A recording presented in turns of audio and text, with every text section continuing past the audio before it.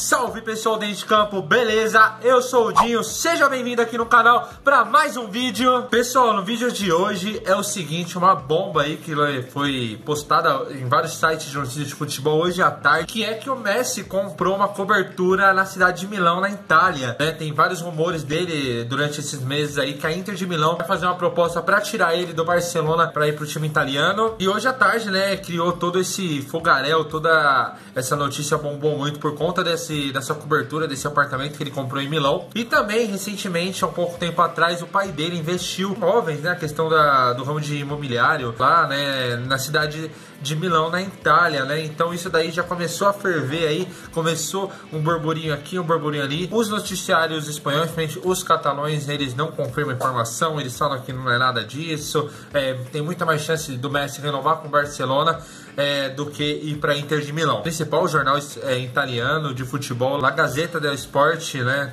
É, eles colocaram isso, falaram que a Inter vai fazer uma proposta, um salário de 50 milhões de euro por ano para o Lionel Messi para tirar ele do Barcelona. Não é de hoje, né, que o Messi tá, não está satisfeito com essa diretoria do Barcelona. Se eu não me engano, no último jogo do Barcelona na La Liga, ele fez um gol e ele reclamou. Essa imagem, esse vídeo viralizou o mundo todo, que é mostrando a satisfação dele com é, esse time atual do Barcelona, que ele informa que não é um time competitivo. Na última janela de transferência que teve, ele pediu o Barcelona contratar o Neymar. O Barcelona não contratou o Neymar. Ele, Messi ele quer muito a volta do Neymar para o Barcelona para fazer um time competitivo. Nessa atual La Liga, o Real Madrid foi o, o campeão. O Messi ele está muito satisfeito. O Barcelona seguiu na Liga dos Campeões mas pode ser que caia, né? Vai enfrentar o Bayern de Munique nas quartas de final. Então tá tudo indefinido. Acho que pela primeira vez na história o futuro do Messi no Barcelona tá muito indefinido.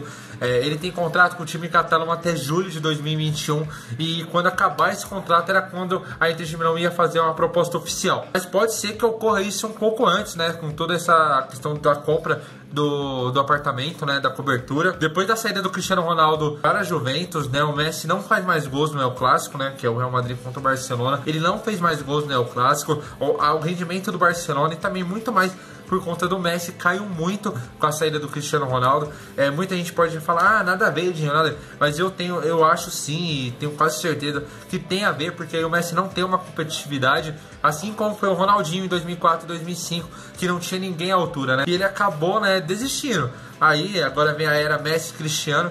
Então acho que a saída do, do Cristiano Ronaldo do Real Madrid não tem mais com quem o Messi disputar artilharia, não tem mais com o Messi disputar o melhor é, da La Liga. Então acabou sim afetando ele, porque o ser humano tem isso, de sempre ser o melhor. Então, entre os dois, eu acho que ajudou muito a carreira dos dois. Para mim, o Messi não seria o Messi de hoje se não fosse o Cristiano. E o Cristiano não, não ia ser o, o Cristiano se não fosse o Messi, na minha opinião. Então, por isso, eu quero, pode ser que aquela. o Cristiano Ronaldo assim que chegou na Juventus, ele falou pro Messi, numa entrevista, né, que rodou todo mundo, que o Messi deveria ter novos ares, deveria ter um desafio, aceitar um desafio diferente. E muita gente achou besteira, ah, o Cristiano tá falando besteira, não sei o que. Mas pode ser que o Cristiano entrou na mente do Messi, eu não duvido nada, porque para ele estar tá indo para Inter de Milão, eu acho que ele quer sim é, não não ser só aquele do Barcelona, mas sim ser um monstro na Itália, assim como ele foi no Campeonato Espanhol, como assim ele foi na Espanha, ele quer ser na Serie A Team e também no Campeonato Italiano, assim como o Cristiano tá lá se desenvolvendo. Eu acho que se caso o Messi ir pro futebol italiano, não vai ser só bom para Inter, não vai ser bom só pro Messi, vai ser bom pro futebol italiano, vai ser bom pro Cristiano Ronaldo, vai ser bom pra Juventus, pro Milan, pra Inter de Milão, porque faz tempo, vamos ser sinceros aqui, faz tempo que não tem um campeonato italiano bom. Faz tempo que um time italiano não domina a Europa. O último, se eu não me engano, foi a Inter em 2010 com o Mourinho. É, faz tempo, é, o Milan e a Inter faz tempo né, que não estão disputando com sequência a Liga dos Campeões. Isso impacta muito. O campeonato italiano é um campeonato que está escondido, é, não está tendo tanta visibilidade.